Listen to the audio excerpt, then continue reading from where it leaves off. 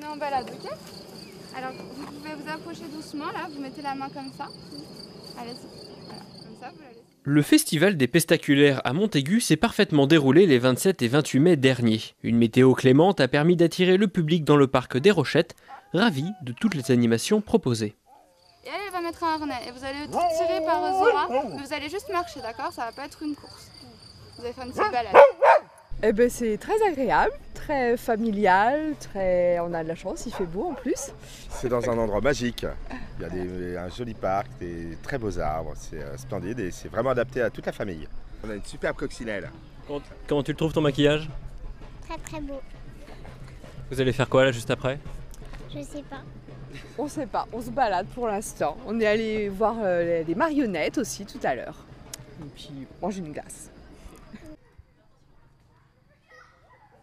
Comment c'était cette petite balade en barque?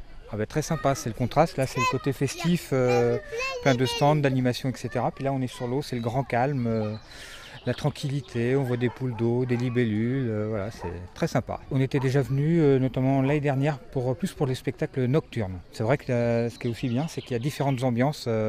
c'est très familial. C'est vraiment pour, pour tout le monde. Il y a le côté artistique qui est très sympa. Ce matin, on a fait les marionnettes. C'était participatif avec les enfants. Puis voilà. Justement, les, pr- les principaux intéressés, com- comment tu trouves ça, la- les pestaculaires Bien. Ça t'a plu la balade en barque? Oui. Il y avait beaucoup de libellules?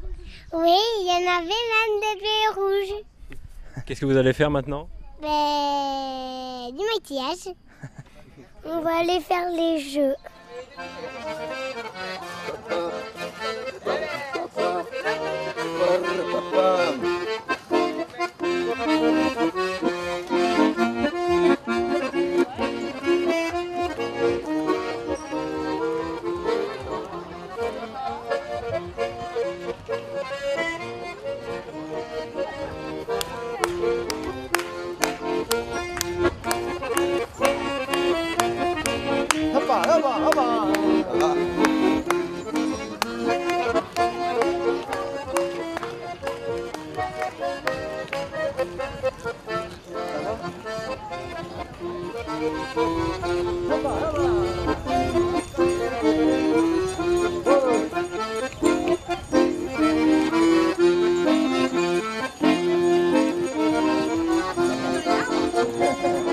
Très bien passé dans l'ensemble. euh, tout, tout le public était vraiment joué. On a eu vraiment de bons retours en termes de convivialité, du bien vivre ensemble, tout ça. Il y a eu euh, en fait 2500 personnes, donc un petit peu moins que les années précédentes. On était à environ 3000 l'année dernière.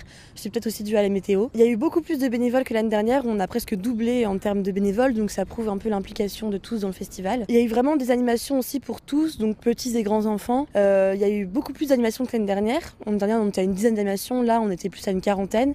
Et c'était beaucoup plus dispersé dans le parc, donc on avait beaucoup plus d'espace et les gens pouvaient vraiment se balader. euh. Et euh, les gens ont vraiment aussi joué le jeu sur le thème du tête en l'air. Donc il y a eu vraiment fabrication de cerfs-volants. Euh, Il y a eu voilà, des têtes en l'air partout dans le parc, euh, des spectacles aussi qui étaient en rapport avec le thème. En plus, euh, donc on a eu, on a remarqué vraiment une fidélisation du public.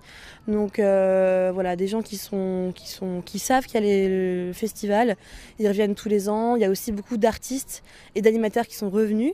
Donc ça, c'est plutôt rassurant pour la pérennisation du projet. On tenait aussi à remercier euh, tous les partenaires euh, privés qui nous ont soit donné de l'argent, soit, soit aidés en termes de matériel.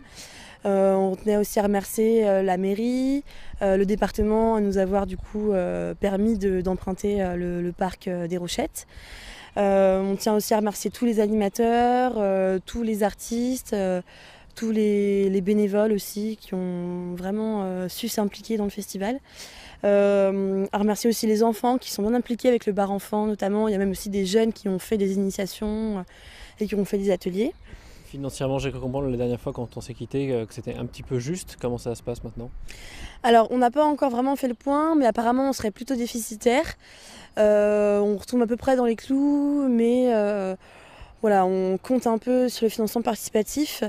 Euh, parce que euh, donc en fait une semaine avant on a appris que euh, le fonds d'intervention jeunesse qui était lancé par la région a, abandonné le projet donc on a supprimé le fonds d'intervention jeunesse donc on a eu moins de 1000 en fait euros une semaine avant le, le, festival. Donc ça, ça nous a un petit peu mis dedans. On compte vraiment sur le financement participatif qui consiste à, voilà, à donner de l'argent sous, forme de dons, donc qui est vraiment accessible à tous. donc là pour l'instant on est à environ 70%, il nous reste une dizaine de jours. Donc on compte vraiment sur le public en sachant que c'est un festival gratuit et que toutes les animations étaient à prix libre. Euh, donc euh, si vous venez, il faut vraiment pas hésiter à partager, à faire tourner, à participer. Donc c'est sur la plateforme du Kiss Bank Bank, une plateforme de financement solidaire euh, qui est disponible sur internet. Parmi les animations qui été proposées, les artistes créent des spectacles en fonction du thème, c'est ça? Oui, donc par exemple, il y a la compagnie Zorel. Donc c'est une compagnie qui est vraiment locale, qui est revenue pour la deuxième fois et qui a adapté son spectacle euh, au thème euh, de cette année. Donc là, c'était Tête en l'air, donc ils ont aussi fait un spectacle autour de ça.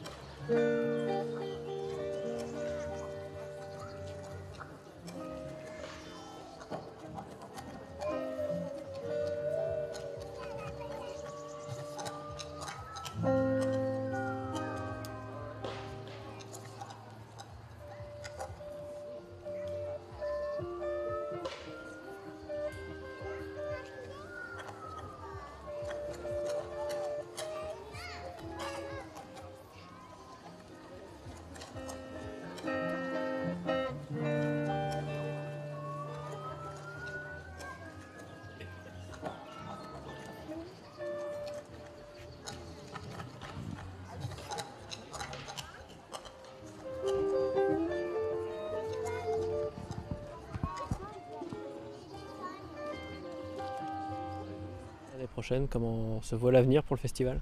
Alors justement, donc euh, à partir d'octobre, là, euh, tous les gens qui sont motivés à participer, à faire des animations, à être bénévoles, ils sont invités euh, dans l'association pour s'intégrer au festival. voilà, on prévoit autant d'animations. on peut-être que le thème, ça sera qu'est-ce qu'on sème, on va on va en discuter en collégial. Et on a peut-être prévu de se faire une balade en canot-kayak sur la Maine pour essayer de drainer tous les acteurs locaux qui ont des savoir-faire et qui, ont des, des choses à transmettre euh, pour qu'ils nous rejoignent dans l'aventure.